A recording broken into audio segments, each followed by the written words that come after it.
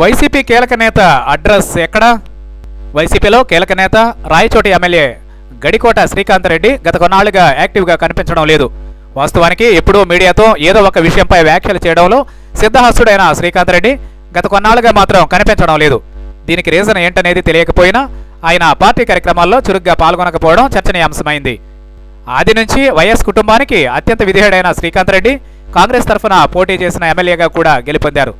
అయితే రెండు వేల పన్నెండులో కాంగ్రెస్ పార్టీకి రాజీనామా చేసి అప్పటి రాజకీయ పరిణామాల నేపథ్యంలో కాంగ్రెస్ నుంచి వైసీపీలోకి చేరారు. అప్పటి నుంచి జగన్కు అత్యంత సన్నిహితుడిగా ఉంటున్న గడికోట ఏ సమస్య వచ్చినా యాక్టివ్గా మాట్లాడి సమస్యను పరిష్కరించే దిశగా అడుగులు వేసేవాడు. జగన్ కాంగ్రెస్ పార్టీకి రాజీనామా చేయాలనుకున్నప్పుడు జగన్తో పాటే ఉన్న శ్రీకాంత్ రెడ్డి కూడా తాను తన ఎమ్మెల్యే పదవిని వదులుకుంటానని చెప్పారు.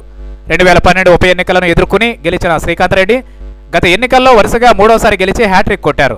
ఈ క్రమంలోనే ఏపీ అసెంబ్లీలో అధికార పార్టీ నేతలను ఇరుకున పెట్టడంలోనూ గడికోట చురుగ్గా వ్యవహరించారు.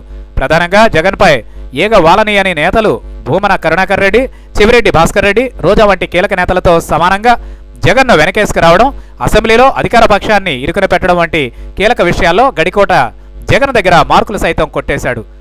ఇష్టం వచ్చినట్లు లాజిక్లు లేకుండా మాట్లాడకుండా సబ్జెక్టుతోనే విపక్షాలను ఇరుకున పెట్టడం గడికోట శైలి. అంతా బాగానే ఉంది. అయితే గత కొన్నాళ్ళుగా శ్రీకాంత్ రెడ్డి ఎక్కడా కూడా మీడియాకు చిక్కడం లేదు. ఏ విషయంపైన ఆయన పెద్ద సీరియస్గా మాట్లాడడం లేదు.